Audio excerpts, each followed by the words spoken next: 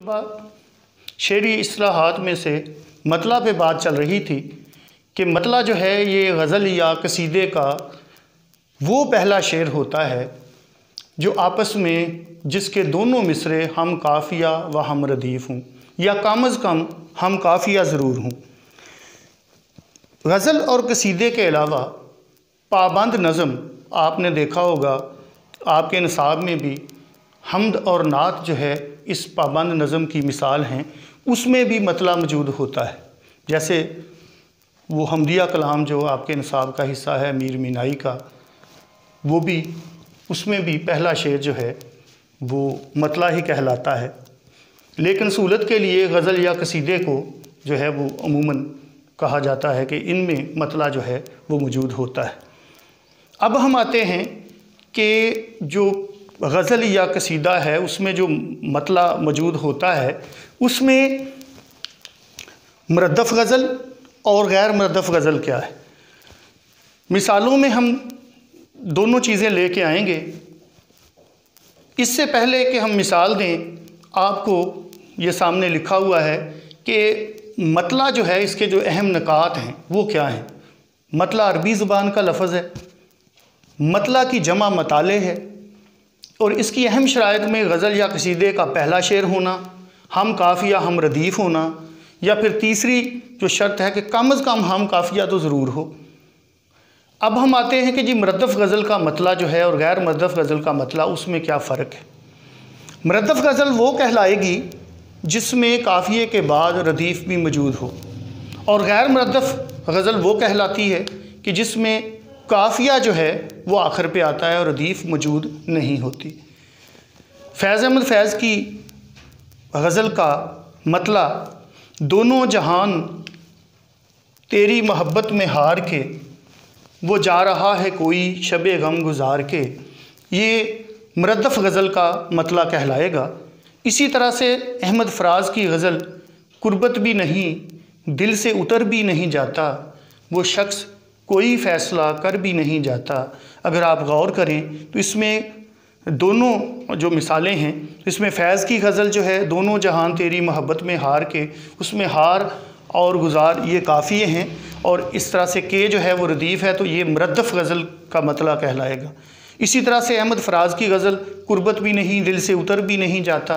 वो शख्स कोई फ़ैसला कर भी नहीं जाता। उसमें अगर आप देखें तो उतर कर जो है, ये काफ़िया कहलाएगा, भी नहीं जाता, ये रदीफ़ कहलाएगी और ये भी मरदफ़ गज़ल की मिसालें होंगी।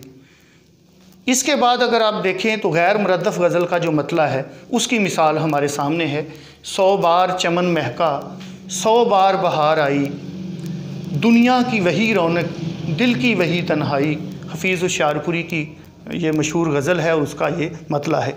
इसी तरह से अगर आप और मिसालें भी तो इलामा इकबाल की कई गज़लें ऐसी हैं, जिसमें जो है, वो गैर मरदफ़ हैं, और उसमें सिर्फ़ काफ़िया जो है, उसका इस्तेमाल किया गया है।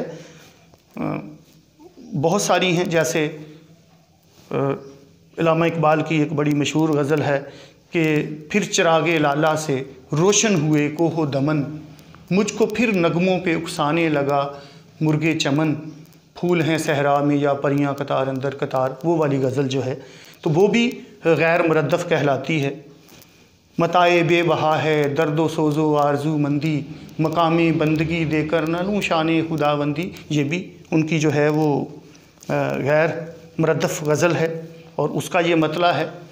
अब कुछ और जो बातें हैं मतला से मतलक वो हम आपके, मैं पेश करता हूँ कि मतला को कहा जाता है कि ये गज़ल का नकीब होता है। यानी इससे पता चलता है, इतला देता है, एक तरह से नकाबत के फ़राय सर अंजाम देता है, इतला देता है, पता चलता है। इसीलिए जो शरा कराम हैं, वो अमूमन मतला पे बड़ा ज़ोर देते हैं। जैसे ख़ातर गजनवी की मशहूर गज़ल है हो ज़रा सी बात पे बरसों के याराने गए मगर इतना तो हुआ, कुछ लोग पहचाने गए। जब गज़ल का मतला आता है तो सुनने वाला जो है, उसको, उस पर जो गज़ल जो अब पूरी पेश करने वाला शायर होता है तो उसके सर में जो है, वो डूब जाता है और उसको, वो जकड़ लेता है, वो मतला जो है। इसलिए इसकी गज़ल में जो है, वो बड़ी अहमियत होती है। अब बाज़ात ऐसे होता है कि शायर जो है, वो ना काफ़िया, ना रदीफ़। काफ़िया रदीफ़ भी इस्तेमाल नहीं करता और फिर वो चला जाता है। सीधा जो है वो ऐसा शेर कह देता है कि जिसके दोनों मिसरे आपस में हम काफ़िया, हम रदीफ़ नहीं होते। जैसे गालब जो है, वो कहता है कि आईना देख, अपना समूह ले के रह गए। साहब को दिल ना देने पे कितना गरूर था। अगर आप इन दोनों मिसरों पे गौर करें तो ये आपस में हम काफ़िया, हम रदीफ़ नहीं हैं और ना ही ये सिर्फ़ हम काफ़िया हैं। तो इसका मतलब ये हुआ कि गज़ल का पहला शेर होते हुए भी ये मतला नहीं कहलाएगा, बल्कि सिर्फ़ हम इसको पहला शेर कहेंगे, क्योंकि इसके दोनों मिसरे आपस में हम काफ़िया या हम रदीफ़ नहीं हैं, या सिर्फ़ हम काफ़िया भी नहीं हैं। इसलिए इसको हम जो है वो किसी सूरत भी गज़ल का मतला हम नहीं करार दे सकते। अब बात आती है कि दीगर जो असनाफ़ शेर हैं, मिसाल के तौर पे मरसिया है, वासोख्त है, मसनवी है रेख्ती है, गीत है, हाइको है मुसदस तरजीह बंद है, तरकीब बंद है मरबा है, मसलस है। इस तरह की जो इसनाफ हैं, उनमें क्या जो है वो काफ़िया रदीफ़ वाले जो हम काफ़िया, हम रदीफ़ वाले शेर हैं, क्या उनको भी हम जो है वो मतला कहेंगे? बिल्कुल हरगज़ नहीं कहेंगे। जैसे इलामा इकबाल के कई शेर की मोहम्मद से वफ़ा तूने तो हम तेरे हैं। ये जहाँ चीज़ है, क्या लोहो कलम तेरे हैं? कोई काबिल हो तो हम शान कई देते हैं। ढूँढने वालों को दुनिया भी नहीं देते हैं। बज़ाहिर ऐसे लगता है कि चूँकि हम काफ़िया, हम रदीफ़ हैं तो ये यकीनन मतला होंगे। ऐसा नहीं है, क्योंकि ये उन नज़मों के हिस्से हैं, जिनमें मतले जो हैं, वो शामिल नहीं किए जाते। अब बात, ये सवाल पैदा होता है कि भाई, मतला जो है, किसी गज़ल में मतलों की जो मताला है, मताले हैं, वो कितने उसमें आ सकते हैं मतले? तो भाई, पहला शेर तो मतला कहलाता है। दूसरा शेर, अगर वो भी हम काफ़िया हम रदीफ़ है, या सिर्फ़ हम काफ़िया है, उस गज़ल के, उसी पैटर्न के मुताबिक है तो फिर वो मतला सानी कहलाएगा। इसी तरह से अगर तीसरा शेर भी ऐसे है तो वो मतला सालिस कहलाएगा। और किसी शायर पे ये पाबंदी आयद नहीं की जा सकती कि वो अपनी गज़ल में मुसलसल जो है, वो मतले शामिल नहीं कर सकता। उस्ताद कमर जलालवी की गज़ल में आठ, नौ मतले शामिल हैं। इसी इसी तरह से कई और दीगर शरा कराम के कलाम में भी इस तरह की गज़लें मौजूद हैं। तो इसको इसकी तादाद को हम मुकर नहीं कर सकते कि किसी गज़ल में मतला जो है, वो कितने होने चाहिए। मतला, हुसन मतला क्या है? इसमें थोड़ा सा जो है, वो नज़ाई मामला है और इस पे अहले कलम, अहले अदब जो हैं वो मुतफ़ नज़र नहीं आते। बाज़ लोगों का, अहले दानश का, अहले इल्म फ़ज़ल का और शरा कराम का इस बात पे इसरार है कि वो दूसरा शेर जो मतला सानी है, वो हुसन मतला भी होता है। अब हुसन मतला जो है, इसका दूसरा नाम है ज़ेब मतला। हुसन मतला, ज़ेब मतला। अब सवाल ये पैदा हो जाता है कि जो मतला सानी है, वो हो गया अगर हुसन मतला तो फिर तीसरा अगर मतला सालस है तो फिर उसको क्या करेंगे? तो बाज़ इल्म दानिश जो हैं, अरबाब इल्म फ़ज़ल, वो इस बात पे मुसर हैं कि मतला के बाद वो शेर जिसका अब दूसरा मिसरा हम काफ़ी हम रदीफ़ होगा, वो हुसन मतला या ज़ेब मतला कहलाएगा। तो इस पे जो है, वो थोड़ा सा मसला है कि हुसन मतला, ज़ेब मतला, वो दूसरा शेर मतला के बाद, असल मतला के बाद, जिसमें दोनों जो मिसरे हैं, वो आपस में हम काफ़ी या हम रदीफ़ ना हों, वो कहलाएगा हुसन मतला या ज़ेब मतला।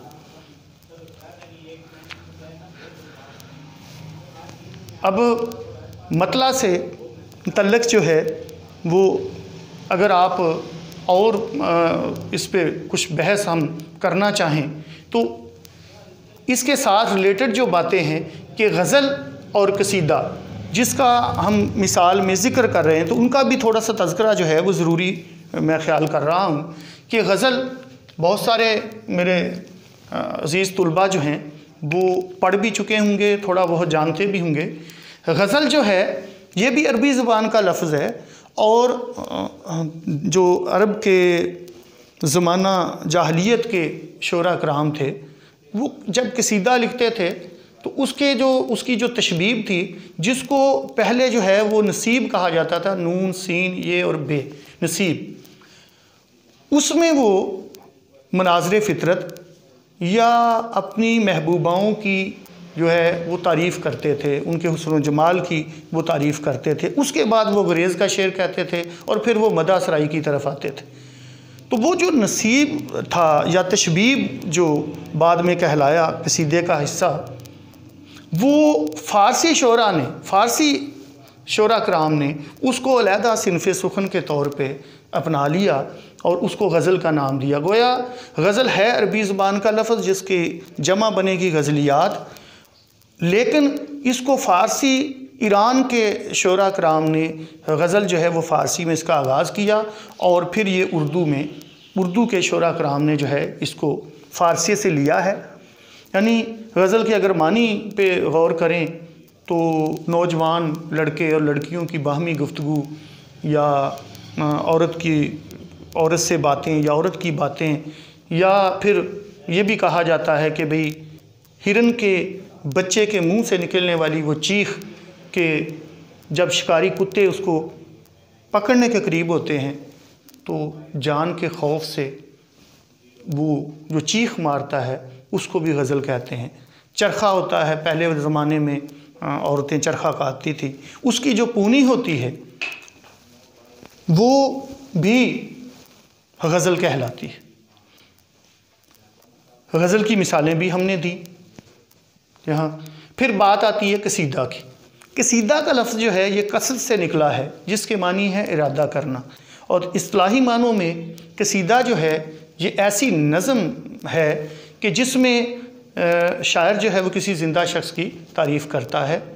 बाकी इन मैं वजाहत जो है वो बाद में, अगले लेक्चर में आपकी खिदमत में पेश करूँगा। Thank you very much